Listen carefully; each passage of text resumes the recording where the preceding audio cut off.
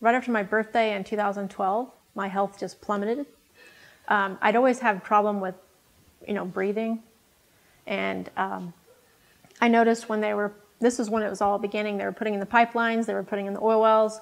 Um, I just didn't have any energy. I already had a few autoimmune problems, and then other autoimmune problems just skyrocketed.